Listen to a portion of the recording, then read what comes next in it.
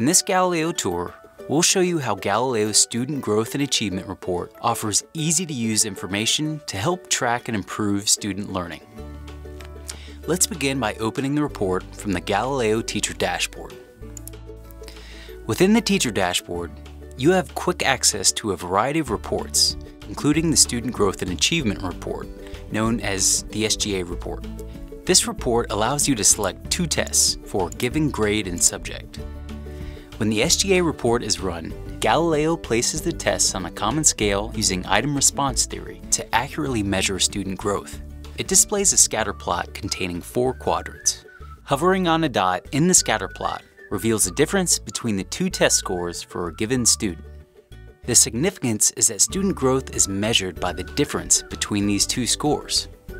Each quadrant calls for a different approach to instruction Accordingly, the report enables a teacher to form up to four intervention groups to provide differentiated instruction for these students.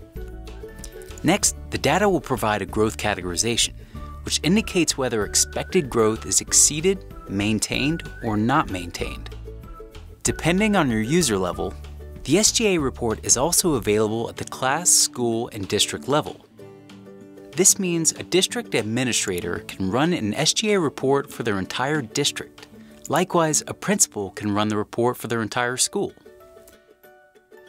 Lastly, data generated from the SGA report can be printed or exported as an Excel file so that you can easily share these reports.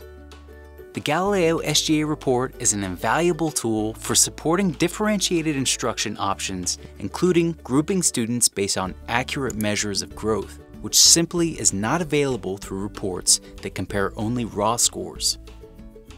With easy to interpret data, teachers can develop tailored learning paths and deliver the right instruction at the right time to achieve academic success. Galileo Tours dig deeper into the tools and technology found in Galileo. Continue to learn by accessing other Galileo Tour videos from the Assessment Technology Incorporated YouTube page. To see a live demo, contact us today.